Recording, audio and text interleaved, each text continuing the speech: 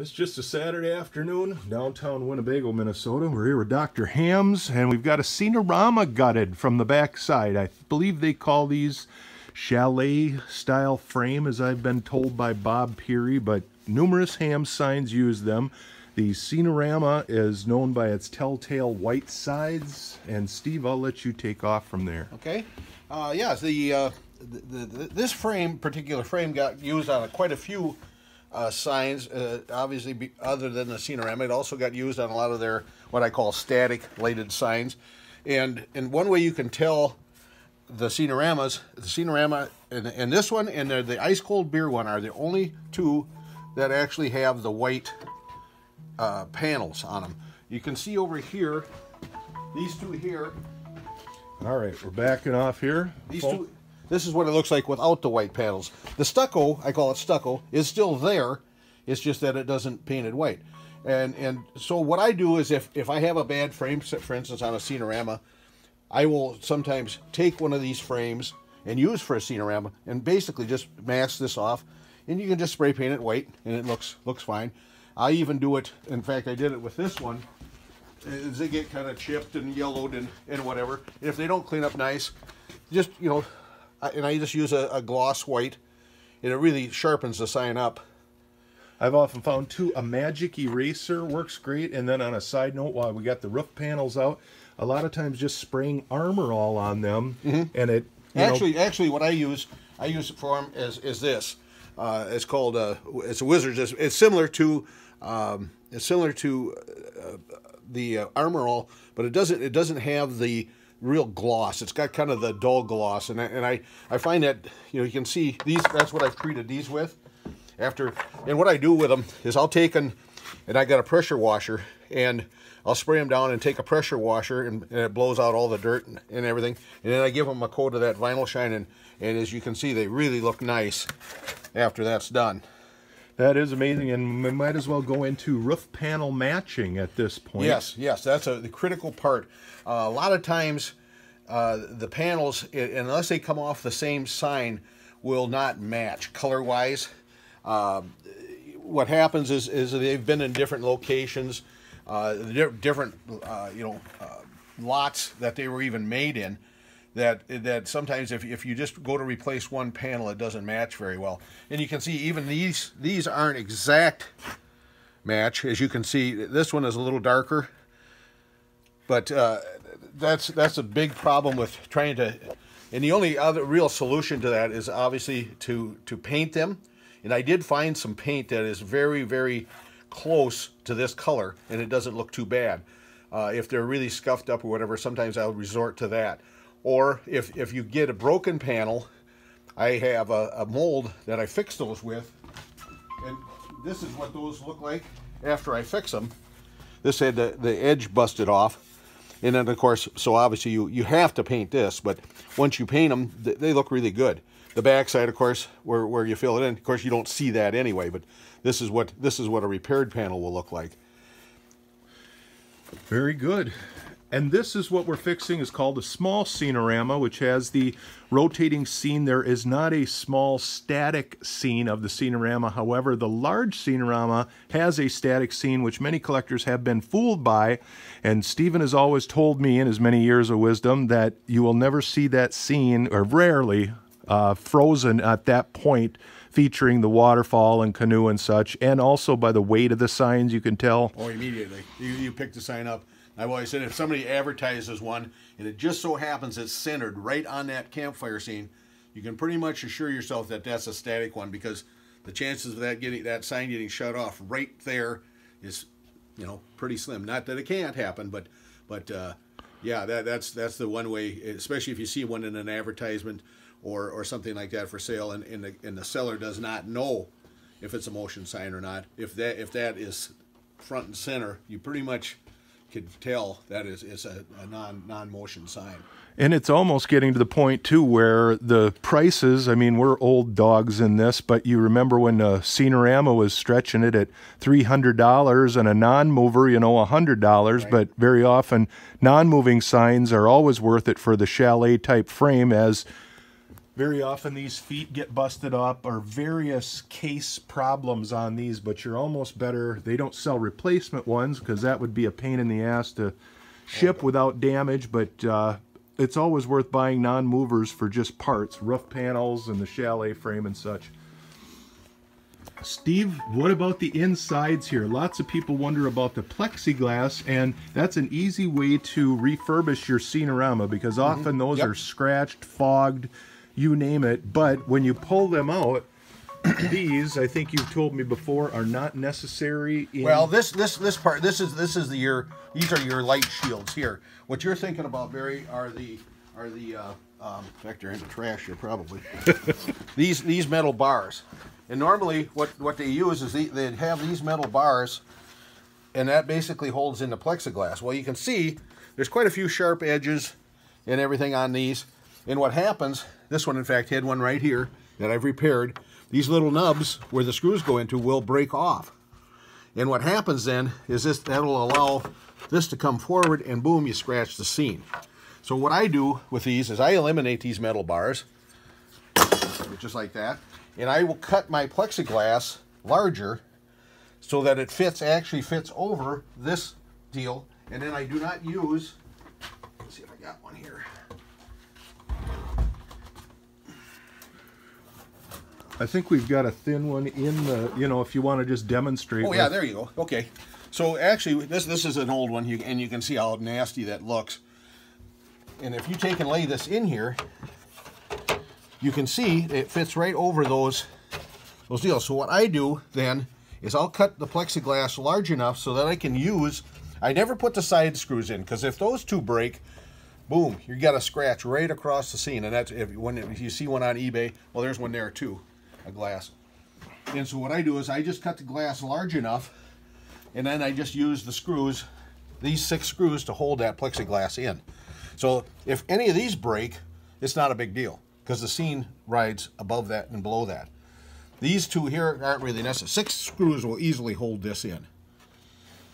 So that's what I do. And what I use, what I use to, uh, And and I was going to say, Steve, not to interject, but uh, people out in beer land across the USA or the world can also go to Home Depot or the local hardware store, get the plexi cut. Oh my gosh, look at this! As I read if your on cue. Yep. This is this is what what I use for for the new glass. And now the one thing you got to be careful of, you want it 80 thousandths thickness. Anything thicker, it's going to rub. So you want the thin stuff. Then obviously this has got a plastic sheet on there, but but this is what I use. It's fairly inexpensive. You can buy it at Home Depot, Menards, any of the Lowe's, any of the big box stores. And would you drill this to put screws in, Yes. or do you? Mhm. si- Yep. How about uh, silicone? Have you ever used No, that? As, no, Okay. no. That has a tendency to kind of bleed up, and and you can see it. And then, of course, if you ever did have to replace it, it really makes a mess. And- using the screws just works perfectly. One of the easiest ways to just make your Scenorama look new is to put a new plexiglass. Oh gosh, it makes a huge difference. And then we're going to cover while we've got this thing opened, and you're still with us here. That's good. You share a passion for restoring old beer signs, preserving history. The marbled background, which a lot of times can be pretty brittle over the years, smoke stained, any number of problems. But you see these little tabs that Lakeside Plastic put in as a part of their installation process. Well, it was very efficient back in the day to simply put the panel over these nubs then a guy would take, and can you imagine the smell? But heck, they were smoking at their desk back in the day of a soldering iron, taking and putting it through these holes and then melting it down. Mm-hmm. Yeah, actually, what they did is they used, they had the, the three pieces. They used the black, Lattice, or, yep. black lattice work, whatever. Then your logo plates. And you see how that's dimensional. I think I've seen a deceptive seller print that into an insert yes. at one time. Yes. oh, Well, in fact, some of the static signs, such as this one, it has it. This now this particular this particular piece goes into the one with the, the man and the bear Yep. uh, um, canoe scene. The And it- static scene, not the scene. scenorama. Right. Yep. Right. And it has kind of the same look, but it doesn't have obviously the three dimensional. You'll see that quite often too. And when once obviously once you see that, you know it's been changed because every scenorama had this. You- No exception. No exception. And Steve, I don't mean to name names or anything, but are have there been purveyors, sellers of inserts, say? Oh, gosh, for- yeah. And are they, in your opinion, substandard to what you I, have? I have seen quite a few substandard ones. Yeah, I, I like I say there's there's a seller on eBay right now that that is selling. He's selling actually quite a few things. He's selling the new scenes for the TV Rippler. They said there's he's selling uh, this blue background with with different wording on it, different fonts, whatever. Uh, there's actually even one he's got that's got the bear on it, whatever. And if that's what you want, fine. I, but it's not original. So uh, And how about the say? Let's color, cover the translucency and uh, say a 56 TV box Rippler. Have you had uh, aficionados of Breweriana signs return or complain about them because of Yes, their? a lot of them, especially the, especially the TV Rippler scene. The one that's being sold now. Here's one of mine, and the one that you see on eBay right now. Like I say, and I don't like to to criticize anybody's stuff, but the one that is on eBay now, the the the actual you look at it. First of all, it isn't it isn't translucent enough to let light through. So I've had a lot of people contact me and they'll say, I put a new scene in, but I'd have no motion. Let's hold this up to the light Oh, yeah, so people know what we're talking about. Yeah. This is the uh, scene for the 56 TV box Rippler, which is so called. It's got a gray cabinet to it, but it resembles a TV, Mm-hmm. of yore. So The, and the one that's being the other the other one that's being sold, if you look at it, the photography is very blurry. It's not very crisp. Um, and and the big thing is is it doesn't let enough light through so that you don't see any rippling. Mm-hmm. And I get oh maybe two or three calls a week on that particular problem, and I say, okay, you got bought one on eBay, right? Yeah. I says, well, that's the problem. It, it will not work. This is like I say, this is mine, and they work pretty darn good. And if you're going to go to the trouble of getting one of these restored, like I say, if you have a jar in your living room or man cave and you threw a buck in there or five bucks every time somebody comments on it, the nostalgia factor, if you're going to do something, you can cut corners, you can uh, save a buck, but this is something that uh, why not spend the money on it and do it right? It's uh, the Well, the cost signs is are worth it. I mean, Yes. I, I mean, it's, it's just like I'll get calls from I, I sell new motors for this particular sign, the Scenorama, and uh, I have to buy a hundred at a time, and I have motors now for seven different signs, motion signs, and so I have a fairly good investment in this. But um, I'll have people call me and want a, motor for a Scenorama, and I and I said it was seventy five dollars. And they, oh my God, for that little motor? And I said, well, if you're not willing to spend seventy five dollars to fix a twelve hundred dollar sign, you know, I mean, they they there's other ones out there. There there's other ones being sold, and and the problem is is they're old. They're new old stock. They're probably made in the 50s and 60s. Mine are brand new, American made, made in the last month. And uh, the ones the ones other ones are being sold are only one RPM, which is they they'll work, but your motion isn't the same. The correct one is 1.45 RPM.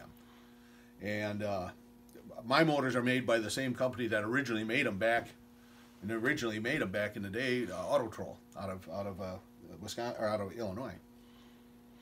Fantastic. That's and uh, replacing motors on different signs. The Scenorama is fairly easy. A guy can do that yeah, at that's home. a that's a simple one. I got one right over here. In fact, it belongs belongs to the sign here. It's pretty pretty straightforward. We're gonna follow over here to the. Here we go. Here's a scene, small Scenorama. It's actually the inside to that one I'm working on here. And here's the motor. Very simple. There's just two screws here and here, two wires, and it doesn't make any difference which which way they go. You can have either way. The motor will still work. It's it's 1.45 RPM counterclockwise, and then there's a small little pin on the end of this motor that engages in the slot in the end of that roller. So yeah, this is pretty simple. It's right out in the open. And Steve, while we're looking at this part, why don't we discuss possible bearing malfunction, or that might be an easy fix, right? Yeah. Well, a lot of times, if you do have a motor failure, what I tell people is, I says, make sure that these bearings here are well lubricated and, and will roll easily. They're they're fairly fairly simple to do. I, what I use is just a, a simple 3-in-One oil, and and work them in there. And these do come off, uh, so that you can do that. Uh, I also sell new ones, but very seldom do you not being able to free them up there, there's obviously four of them, and if those if those bearings get sticky, the motor will still turn them. but it really will reduce the life of the motor. And uh, I say originally these were designed to run 24 hours a day, seven days a week, which they did. So the so that that's obviously people say, well, does it hurt to? I no, actually, uh, home life for one of these signs is a pampered life compared to what they're used to be in. Right. Yeah, these were meant to run in a bar environment. I mean, being turned off at closing time, but started up at Sometimes, whatever time. Sometimes in the they were used as nightlights, and they just run all the time. wow, fantastic. Well, we hopefully have given you some information here from Dr. Hamms and scenic Winnebago. about the different length roofs. Let's We- go we- back. We missed that. We missed that. that was what we were going to start with anyway. Right. Okay, now on on all your the only the only sign that is different that I've found so far is the one that's the ice cold one that's got the tin foil, and those for some reason have two short. There's two lengths of roof panels, long and short. Oh, the long and short of it. Yep. Now the only one I have ever seen that came factory with two short roof panels, and I don't know why, is that one that says ice cold beer. It like has a reverse inset of tin foil, dimensional look. Right. Let me show you. I got. Just stay there. I think I got one here. I can show you. Uh, maybe. Uh, And here we look at the removed bearings. And oh yeah, there's some more. see- There's what the inside of a lot of ham signs will look like. They've been in a greasy, smoky bar environment. Uh, you know, heck, above the. Sometimes it looks like they've hung above the grill. Here's the new inserts. You'll ask about the on tap versus Born in the Land of Sky Blue Waters. Any uh, thoughts on rarity, Steve? While you look up that. I can't find one now, but anyway, that's the only one that I've ever seen that has come factory with two short roof panels. And what happens if you have two short roof panels? The only the only downside is is the the panels, as you can see, wouldn't have the overhang. Yep. as opposed to if you have a long and a short one, you'll have an overhang. Like our bellies over our belts. Exactly, exactly. Otherwise, every Scenorama, every small static sign has a long and a short. Now, the the large Scenorama has four roof panels. That has three short ones and one long one. Wow, so our Morse code of roof panels. Yep, and that also has obviously has the overhang. There's a there's a large one here. And you can see Yep, here we go. And usually has a clock or a food scene, yeah, probably. this is a West Coast one. And West Coast versus uh, normal Midwestern. What would be the? The, the Midwestern one has the clock in it. okay. And the reason they did that is there were certain states out west that didn't allow the clocks in bars. They didn't want you to know what time it was. Hey, I got time for another beer, right? Just like in casinos. Yes. Same thing. Very good. Well, I think we pretty much summed that up, and uh, 18 minutes worth of expertise from Dr. Hamms, Winnebago, Minnesota. If you have any questions, you can reach him at ibuyOldBeer.com. I don't know if I should give his actual email address, You but can, I don't care. Miner, M I N E R, like Miner 49er, at Bevcomm, B E V C O M M, Two M's. bevcomm.net. I'm Barry. This is Steve. Over and out.